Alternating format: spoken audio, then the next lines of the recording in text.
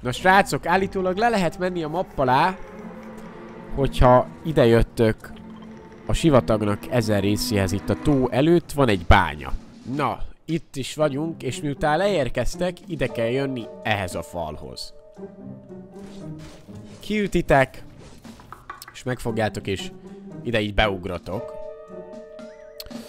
És ha megnézitek, akkor most ben vagyok a mappa konkrétan, de itt meg le tudok esni még lejjebb a vízbe. Oszta! Azért ez nem semmi. Viszont itt óvatosan, mert ha mozogtok, akkor kampec. Ciao, ha tetszett a videó, akkor iratkozz fel, nyomd be a csengőt, hogy ne maradj le a továbbiakról.